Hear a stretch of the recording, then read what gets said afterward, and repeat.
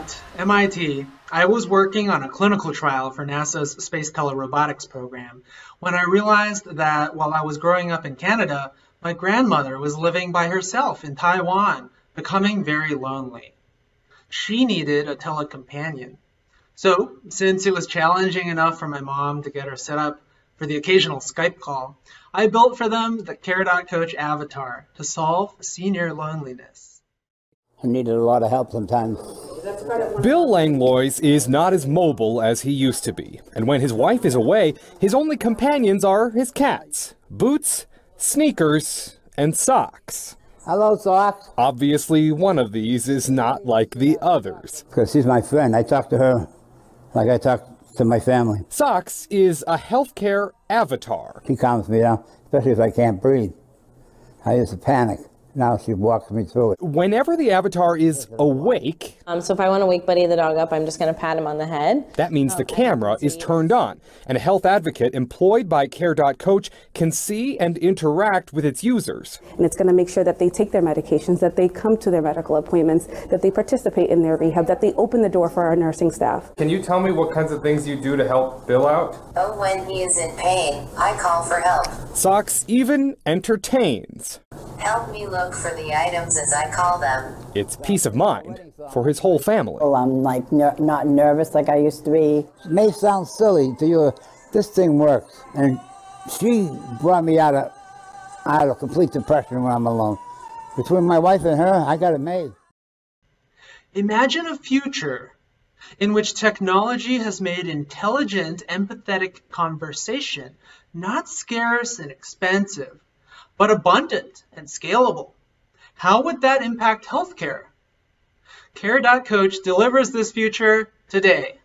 As of this moment, we are supporting hundreds of individuals like Bill, who together account for $20 million per year in medical expenses.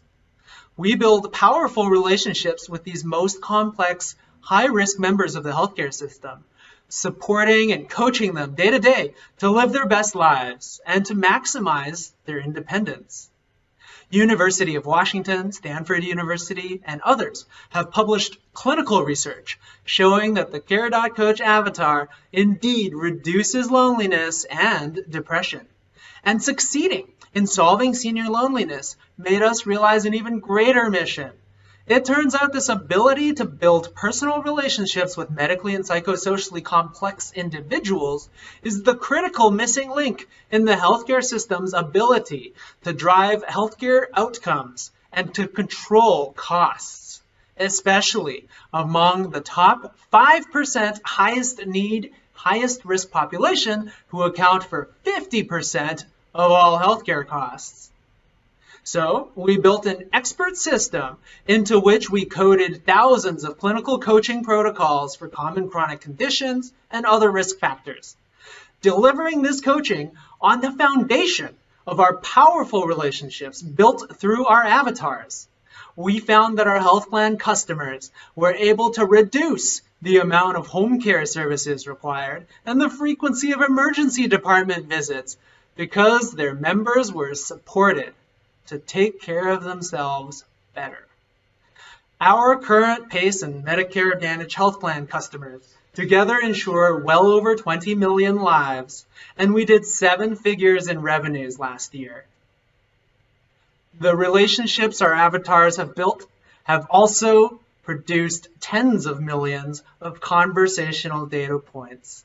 And for understanding the truly natural responses of an older adult population, we've achieved conversational AI performance measures that surpass Google. We are already profitable. And in the next year, our AI pipeline will have our cost of goods sold. COVID has accelerated our sales cycles, helping us to launch five new health plan customers in only three months. In addition to COVID protocols for self isolation delivered through our avatar, we've recently launched a new product, Care.Coach Video Visits, which greatly expands the reach of telemedicine to individuals who are self isolating and don't have the tech skills to take advantage of mass consumer telemedicine. Have you taken your morning medications yet? No, it's giving me a rash. I don't want to take it. Oh, I'm sorry to hear that. I'll let your provider know so they can help you out. Please excuse me for a moment. Good news. I talked to your provider and your doctor will call you now. Oh, good. Thanks, buddy.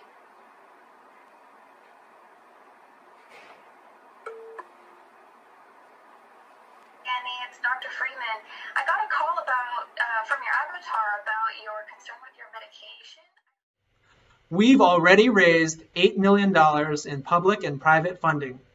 And we'll be raising a Series A to advance our go to market and our AI platform. If you're interested in joining us to scale human touch, please get in touch.